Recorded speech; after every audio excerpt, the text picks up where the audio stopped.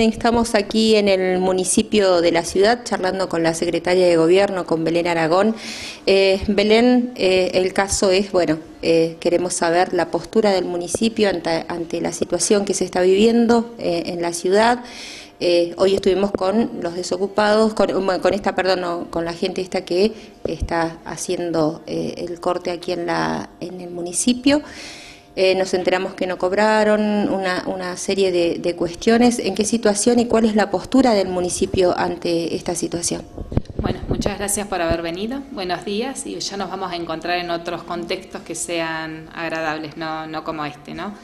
Eh, en principio, las personas que están manifestándose no cobraron porque hay una resolución que deja sin efecto una resolución donde pasan a planta permanente 48 personas. Una resolución que vale aclarar que ni siquiera está publicada en el boletín oficial, así que que ni siquiera es oficial esa resolución. Más allá de eso, por una cuestión, si se quiere, humanitaria, y porque también demoró el Ejecutivo en, determinar esta resolución que deja sin efecto el pasaplanta permanente, eh, es que hay que, a través de una resolución, justificar la erogación de estos pagos. Si nosotros retrotraemos la resolución a la situación final, digamos, de los empleados, el 31 de diciembre vencía su contrato, es decir, que en enero no estaban bajo ninguna modalidad de contrato. Pero como ingresaron a la municipalidad, prestaron funciones y marcaron, nosotros tenemos que hacer por vía de excepción una resolución para hacer efectivo el pago, el pago y eso eh, ya está elaborado y en el transcurso de la semana que viene, para no precisar el día, eh, se van a estar abonando los días, los días trabajados. Así que bueno, que se queden tranquilos. Yo me comuniqué en el día de ayer con el secretario general del gremio que está llevando adelante la protesta, el reclamo, para manifestarle esto, para que las personas no, las, pocas personas en realidad que están en esta situación no, no, se pongan mal, ¿no?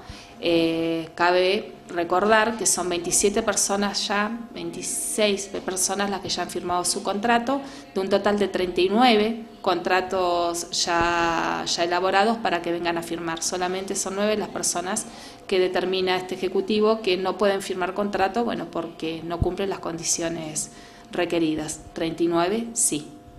Bien, eh, se habla de, una parte habla que es legal, eh, del de parte del municipio dicen que es ilegal. Eh, ¿Cuál es la gente, quiere saber cuál es, cuál es realmente la verdad? Porque ellos dicen que es legal y ustedes dicen que es ilegal. Yo te digo los argumentos de este Departamento Ejecutivo Municipal. El hecho más grave, primero y principal, es que no esté publicado en el boletín oficial como la palabra lo dice, oficializa los actos de gobierno el boletín. Eh, tiene fecha 9 de diciembre esta resolución, donde se deja en planta permanente 48 personas. Hubo una publicación en el boletín oficial donde no estuvo esta resolución. Nosotros consideramos que hasta es a propósito que no la hayan eh, puesto en el boletín oficial. Eh, más allá de eso, de no estar publicada en el boletín oficial, primero, había una ordenanza de congelamiento del ingreso a la planta permanente de la municipalidad que se violó. Segundo, el Estatuto de Empleo Municipal establece que el ingreso a la planta permanente a la municipalidad es a través de un concurso.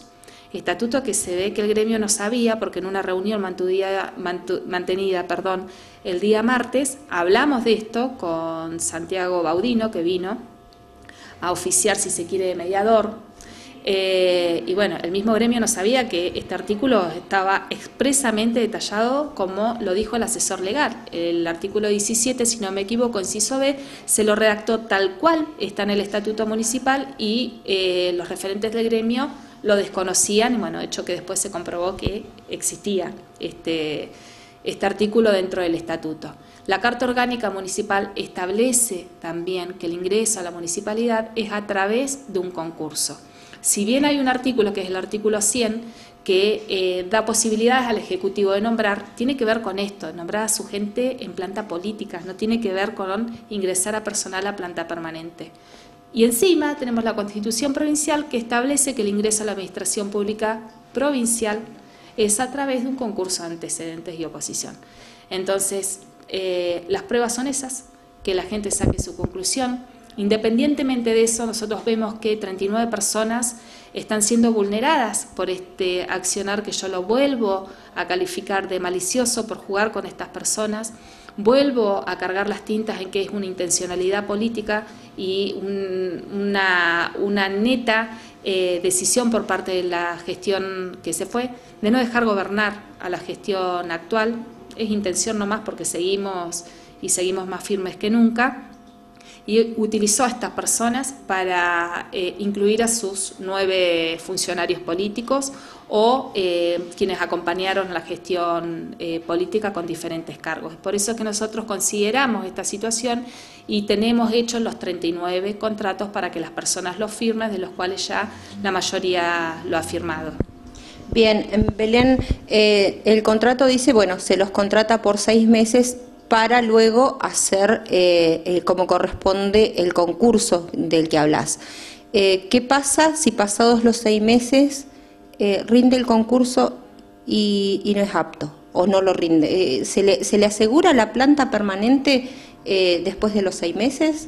Nosotros le aseguramos que vamos a hacer el concurso, y un concurso en serio, y un concurso como corresponde, no un concurso trucho y armado como lo vimos que, se vino haciendo durante este periodo, que estaba armado y destinado a las personas que ellos querían que se queden. Yo les aseguré a cada una de las personas que firmó el contrato que iba a tener una continuidad, que no era solamente por seis meses y que se iban a dar todas las posibilidades para que rinda y armar los concursos para que rinda como corresponde e ingrese por la puerta y no por la ventana. ¿Sí? Va a tener el derecho a concursar, por supuesto que sí, pero no le vamos a armar nada, no va a estar armadito y avalado esto por, por algunas personas para, para que tenga nombre y apellido el concurso. Sí va a ser democrático como corresponde y como debe ser. Bien, o sea, supongamos una persona que hace 11 años que está, un ejemplo, eh, firma el contrato ahora, seis meses, eh, rinde y ¿qué pasa si no rinde como corresponde? Se va. No, por supuesto que no. No, no, no, no, no, no, pero está bien tu pregunta porque es el planteo que me hicieron las 26 personas que ingresaron, o sea, que contrataron. Si rinde mal, se queda, se queda y haremos otro concurso eh, garantizando la, la inscripción de estas personas, garantizando el acceso a este concurso y haciendo todo lo imposible ayudándolo desde el ayudarlos a estudiar, el ayudarlos a prepararse para que puedan concursar de manera positiva. No les llega a ir bien, en el transcurso de estos cuatro años haremos todos los intentos posibles para que pueda llegar a ingresar como corresponde, porque nosotros tenemos un deber como Estado con esas personas, ¿sí? Pero no vamos a hacer nada trucho y no se van a ir. Yo me voy, si se va, si nos vamos nosotros y viene una gestión entrante que determine si no pudo ingresar a través de los concursos, va a tener que determinar la gestión entrante eh, si lo contrata o no. Ya va a tener ahora sí derechos adquiridos, porque nosotros vamos a renovar durante estos cuatro años, si no ingresan a planta permanente, estos contratos. No es por seis meses y se van, no es que rinde mal y es la justificación para que se vayan. La cantidad de barbaridades que se han dicho durante estos días no, tiene, no tienen razón. Bueno, está justificado eso en la cantidad de personas que han venido a firmar el contrato por las cosas que están escuchando y porque ven la clara intencionalidad que tienen los que están afuera eh, de hacer este tipo de manifestaciones que la verdad que no tienen fundamento, no tienen propósito y no lo decimos nosotros, sino lo dice el resto de la gente, el resto de las personas que ha querido participar en esta instancia, si se quiere, de mediación, que bueno, esta, esta manifestación no eh, no tiene un porqué, sí, no tiene un porqué firme que tiene que ver con la vulneración de los derechos del trabajador, sino que tiene una clara intencionalidad política. Bien, ¿qué pasa si eh, ustedes tienen la postura clara de que eh, no van a, no van a, permitir el tema del ingreso de estas personas? ¿Qué pasa si de la, otra, de la otra postura la gente que está aquí abajo tampoco cede? Tienen todo el derecho del mundo a manifestarse, Marina. Nosotros no oímos, si bien está la policía, porque obviamente es una manifestación y tienen que resguardar el patrimonio que es de todos los zapalinos y al resto de los trabajadores, eh, nadie los ha interrumpido, nadie los ha molestado en su manifestación, es un derecho de ellos, como también es un derecho de presentar las acciones legales correspondientes. Así que, bueno, están en su derecho. Si a ellos les parece que nosotros estamos en una postura que es incorrecta, que lo determine un juez. Para nosotros no es una postura incorrecta, nosotros estamos bien asesorados al respecto y mucho más eh, con el último dato que te di, que es que ni siquiera estuvo publicada esta resolución en el boletín oficial. Si fue una desprolijidad, de la gestión anterior, una desprolijidad que la verdad va a hacer pagar caro esta desprolijidad a los trabajadores, eh, o fue a propósito, la verdad que nosotros no, no, no lo podemos determinar a eso, pero es grave esta situación. Bien, eh, esta gente que, se está manifestando piden eh, las veces que hemos eh, venido a, tomar notas, a hacer notas, la presencia del intendente. Quieren hablar con el intendente. ¿Cuál es la razón por la cual él no accede a hablar con, a bajar y hablar con, con estas personas? La razón es que ya habló y que están mintiendo, porque ya se juntó. Hay un gremio que los representa que es ATM que se quedó en la protesta. El día de la reunión habían otros gremios que entendieron que no estaban en lo correcto eh, el resto de los, de los trabajadores y este gremio.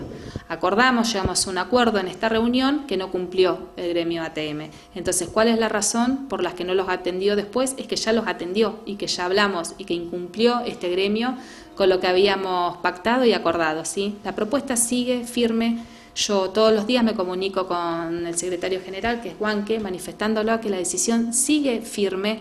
Eh, la Defensoría del Pueblo envió una nota para que nos juntemos, acercar a las partes. Las partes están juntas, de hecho nos juntamos con el gremio ATM el día martes, con la presencia, como te había contado, de Santiago Baudino, y la, y la propuesta sigue firme. Hay 39 contratos, hubo 39 contratos para firmar, de los cuales se firmaron ya una totalidad de 26, el resto está todavía para firmar sin, sin, sin, sin haber pasado el mes, o sea, sin que por haber pasado el mes, perdón, eh, nos sigamos con esta, con esta propuesta. La propuesta sigue en pie. Eh, se acercan todos los días uno o dos personas a, firmar por diferentes motivos, nosotros no mentimos, la propuesta sigue vigente y bueno, y llamamos a la reflexión de esta dirigencia gremial eh, que está usando a estos trabajadores, al resto, solamente para salvar a estos dirigentes políticos. Bien, también se dijo esta mañana que eh, trabajadores municipales se acercaron a cobrar sus saberes y que notaron una, notable baja en sus sueldos. Eh, ¿Tenés alguna novedad al respecto de eso? De la planta política debe haber sido. Eh, hay dos situaciones. Si vos, más allá de que nosotros hayamos ingresado con la menor cantidad de personas de planta política, yo creo que en la historia de esta municipalidad, más allá de eso, pero no dejan de ser 60, 70 personas, y por ahí tuvimos problemas nosotros los de la planta política por estar mal cargados y demás, que bueno, es un hecho que, se subsana en el transcurso de la semana o de la semana que viene. Con respecto a las personas de planta permanente, no tuvieron ningún problema eh, en su sueldo. Lo que sí pudo haber pasado es que no se pagó las horas extras a nadie porque no hay plata, simplemente por eso. Hay un pequeño problema y es que no hay dinero. Entonces, no es que pierdan ese derecho, pero este mes no se pudo liquidar esto porque o cobraban el sueldo o cobraban las horas extras.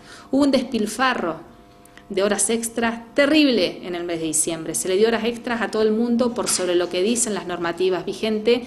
Eh, hubo casos donde personas cobraron horas extras, no sé, tenían que trabajar 36 horas en el día que no existen, a, tal punto, ¿sí? Eh, así que bueno, eso está sujeto a evaluación. Las personas que sí realizaron las horas extras, también, bueno, está todo por liquidar porque no hay dinero, simplemente eso. Entonces por ahí sí habían sacado cuentas de que iban a cobrar más por esas horas extras, pero no es que se van a perder, sino que por ahora no hay dinero. Después el resto no, a nadie se, se, le tocó su sueldo, para nada. Bien, eh, muchísimas gracias Belén. Eh, como dijiste vos, esperemos encontrarnos en otra circunstancia más agradable eh, para nuestra ciudad. Sí, eh, vuelvo a repetir eso, nos vamos a encontrar, bueno, y aprovechamos eh, la oportunidad para invitar al zapalino que disfrute del corso de la ciudad, un corso donde el protagonista va a ser el zapalino.